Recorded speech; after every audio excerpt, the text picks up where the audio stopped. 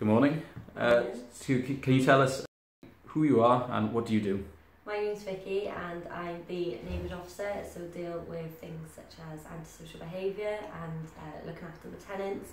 And my areas are mainly Grangetown and Campden. Oh, brilliant. Okay, your 60 seconds start now. Okay. Uh, what's your favourite film? Uh, probably Gladiator. How long have you worked at Cadwyn? Three years? Uh, if you could have a dinner with any celebrity, dead or alive, who would it be and why? Probably Tom Hardy because he's he's good looking.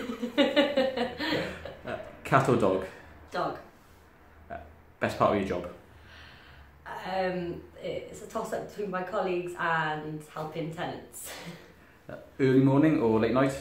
Late night, I'm not good with mornings. Uh, most common issues you come across? Um, either antisocial behaviour or um, tenants wanted to move quite a lot.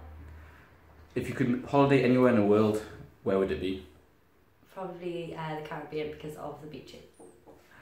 Football or rugby? Rugby. And finally, which superpower would you choose? Being invisible or able to fly? Able to fly. Uh, brilliant, thank you very much. No.